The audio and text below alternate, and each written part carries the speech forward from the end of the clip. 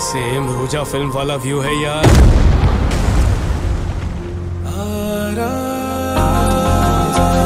तुमको पता है हम किधर से आए हैं? आपका मुझे डाउट है। पर पक्का बेगम। डायरेक्ट जन्नत से आई है।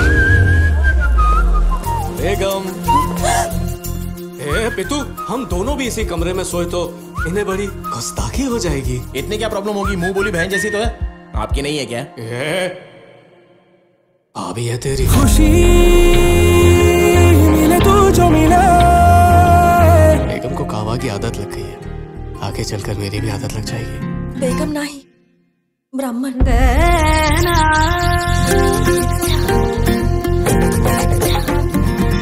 ये सखाराम जी की बेटी है। हाँ नलिन सत्यम का बेटा है। मेरा बेटा आपकी बेटी से प्यार करता है। आप इस शादी को मत रोकिए। इनके विवाह के पश्चात कलेश ही कलेश होंगे। घर में उपद्रव के अलावा कुछ नहीं होगा।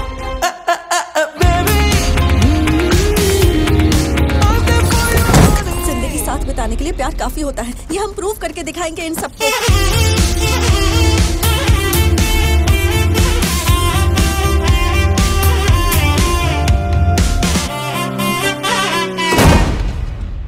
मेरे मुँह पे दरवाज़ा क्यों बंद किया?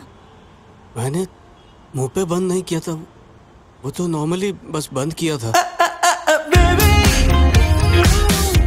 घर पर तो हमेशा इसका मुँह लटका हुआ रहता है और कलीग्स के साथ देख कितनी खुश है। ये रखी है। मैडम कभी कभी उन्हें उनकी जगह दिखानी पड़ती है मैडम। मुझे लगता है बाबा ने जो कुंडली में दोष बताए थे उस वजह से ही झगड़े हो रहे हैं। ये सब मैं नहीं मानता।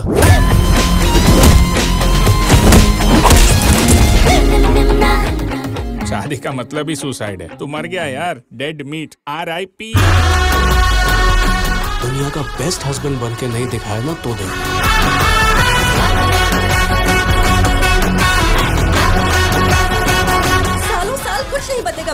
आराध्या अभी जाओ यहाँ से। तुम चाहते हो मैं हमेशा के लिए चली जाऊँ? नहीं बस कुछ घंटों के लिए बख्श दो।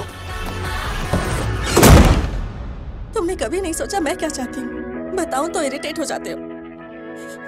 तुमसे बात करने में भी मुझे डर लगता है विप्लव।